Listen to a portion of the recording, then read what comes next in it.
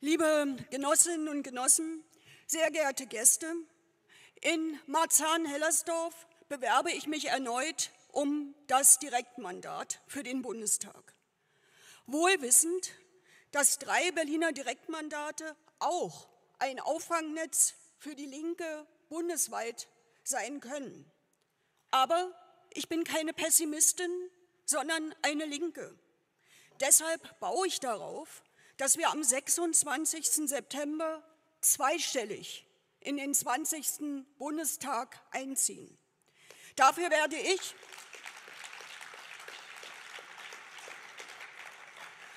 Dafür werde ich, dafür müssen wir gemeinsam kämpfen. Seit über einem Jahr überschattet die Corona-Krise nahezu alle anderen relevanten Themen auf den ersten Blick. Auf den zweiten offenbart sie wie eine Lupe, was generell schiefläuft. Berufstätige werden verbal als systemrelevant geadelt und real mit Niedriglöhnen abgespeist. Das ist systemarrogant. Das Öffentliche wurde klein gespart, der Militärhaushalt weiter aufgebläht. Die Reichen werden immer reicher, übrigens auch in der Krise, und die Armen immer zahlreicher. Ich könnte die Aufzählung fortsetzen. Corona ist also mehr als ein medizinisches Problem. Corona ist eine gesellschaftliche, mithin politische Herausforderung. Das werden wir, das wird die Linke weiterhin erhellen und für einen überfälligen Politikwechsel streiten.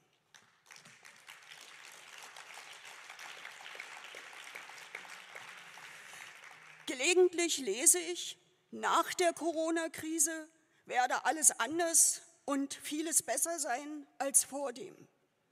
Mit Verlaub, so viel naiven Optimismus widerspreche ich heftig.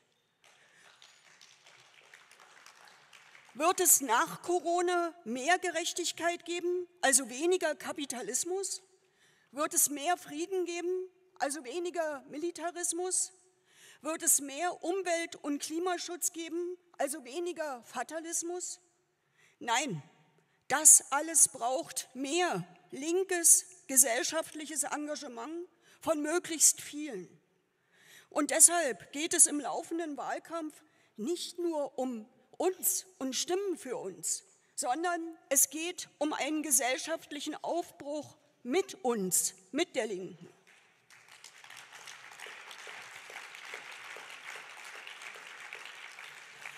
Natürlich ist die soziale Frage das Markenzeichen der Partei Die Linke.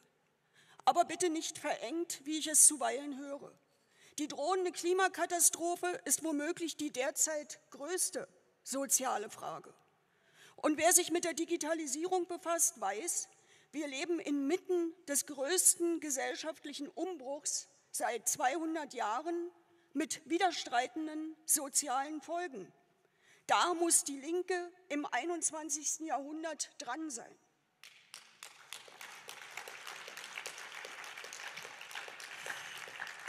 Auch in diesen komplexen Zusammenhängen bleiben Bürgerrechte und Demokratie meine zentralen Themen.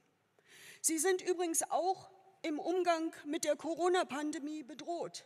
Das darf nicht unwidersprochen sein. Derzeit beschränken Regierungskreise an gewählten Parlamenten vorbei verbriefte Bürgerrechte. Einer allgemeinen Sicherheit wegen heißt es. Das ist undemokratisch und nicht akzeptabel und deshalb hat die Bundestagsfraktion Die Linke dazu einen Gesetzentwurf für die Schaffung eines Pandemierates eingebracht. Das ist sehr viel mehr als die Schaffung eines Gremiums. Das ist demokratische Befassung und nachvollziehbare Beschlussfassung.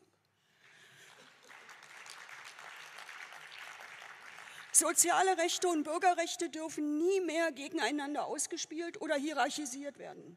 Das ist meine Lehre aus dem Scheitern der DDR.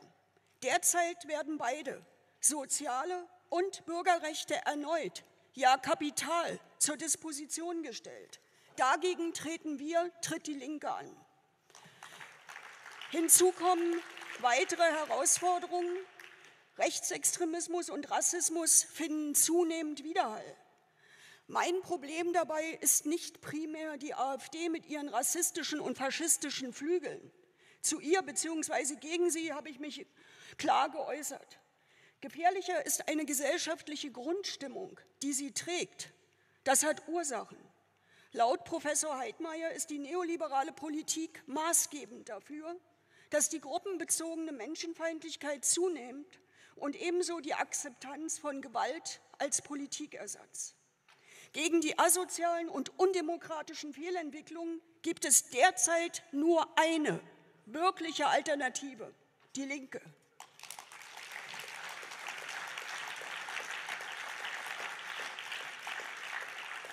Kurzum, wir brauchen einen grundlegenden Politikwechsel. Debatten über AfD-Verbote helfen dabei wenig, Forderungen nach Eingreifen der Ämter für Verfassungsschutz schon gar nicht. Im Gegenteil, wir bleiben dabei, Geheimdienste sind aufzulösen.